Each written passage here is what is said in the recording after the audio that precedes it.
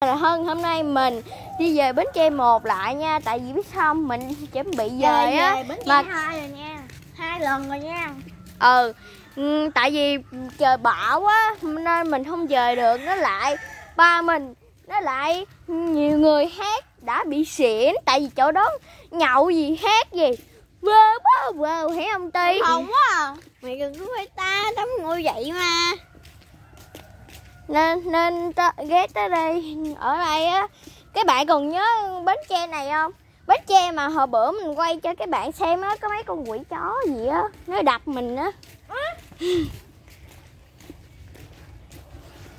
Mấy người kia sao không đi đâu thôi mình vô cho hết hồn chứ bộ mình nói là mình đi lạc mình đi lạc thấy không?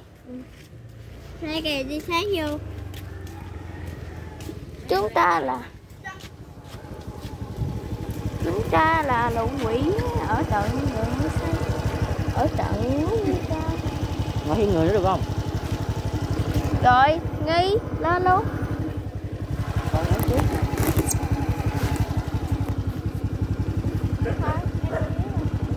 giờ bộ về đi lại. Ngồi ờ, cẩn thận nha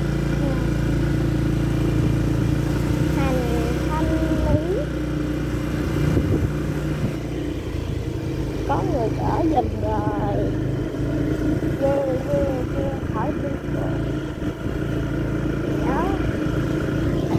Này chỗ nó bị bị chó nó rồi. Mất tiêu rồi.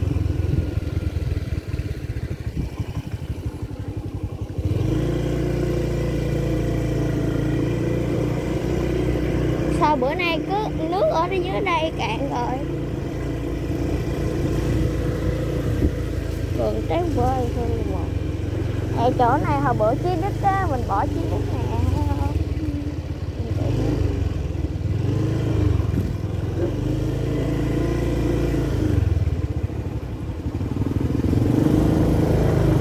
Đây là nhà bánh kem. Thôi là được qua Ở đây cầu rồi ngủ nha đây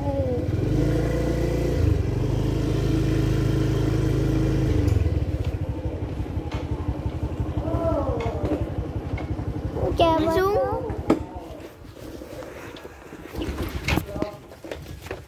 Căn lồng hả? Hả Dạ. Bánh chay một mình ở đây nè. Ờ.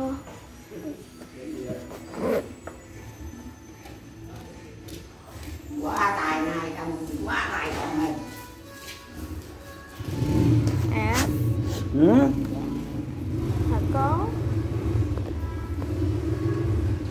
Ti buồn chứ hả? ừ. Sao ti buồn chứ. Nó buồn nha con. Mới ngủ dậy hả? Không quà mà? Quá và con